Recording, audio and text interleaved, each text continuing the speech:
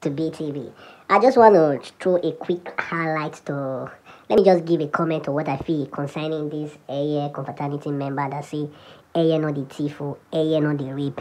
Well, to those who know themselves and the reasons why they belongs to this particular confraternity, he might be right to an extent, you understand? I will not say it's just completely wrong.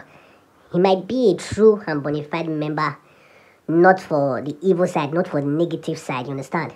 He might be among the members who stand for the reason why this forum was created, you understand? But due to what we now see in our society, the killings, the raping, the stealings, most of all these evil things is done by members of one or another confraternity member in our society today, you understand?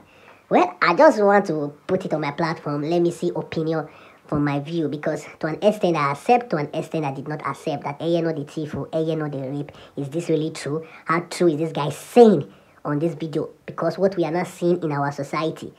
Ah, I cannot say you are right, bro. Well, I will leave my viewers to judge and the people around to see what is in their mind. Let's drop our opinion concerning this video. See you guys on my next video. Yeah, to all rugged worldwide. Today goes, tomorrow comes. Tradition of the past still remain the present of the most supreme Eyana confraternity. Hear me out to all rugged elots.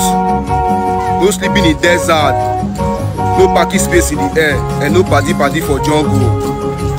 Eya no dey steal o, Eya no dey rape, Eya no dey rob. For those that obey and abide by the most supreme Eyana principle. We then fly above the sea, for the sky is our limit. Even when the terms are high, the skies are rough. We then fly ruggedly higher and never to stumble. Let's back to tradition, fellow Elos. 615 is here. Let's take it back to tradition. Now so, all best are